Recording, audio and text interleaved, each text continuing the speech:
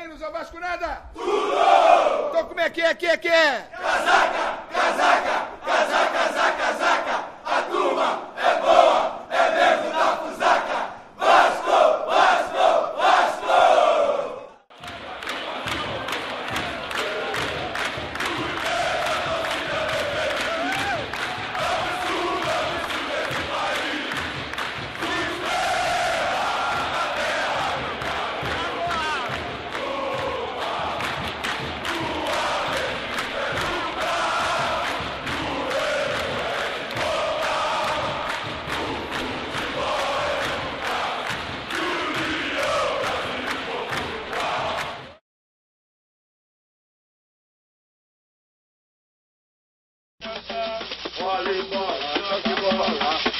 Na entrada do estádio, faixas de campeão, camisas e bandeiras. Nas bilheterias, ingressos por apenas 50 cruzeiros.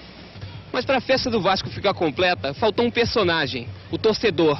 Pela arquibancada vazia, a gente nota que nem a torcida vascaína levou muita fé nessa festa das faixas.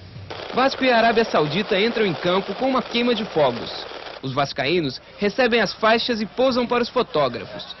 A partida começa e logo aos 15 minutos, Roberto dá um presente para a Tita abrir o placar. Vasco 1 a 0. Depois disso, o jogo fica ruim.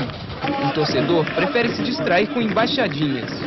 O segundo tempo começa com os árabes pregando um susto. Khalid põe na área, Célio e Luiz Carlos se complicam. Ahmed Jamil não perdoa. 1 a 1. O Vasco então acorda e parte para o ataque. Roberto dá outro belo passe. Anderson marca e salva a festa. Final Vasco 2, Arábia Saudita 1.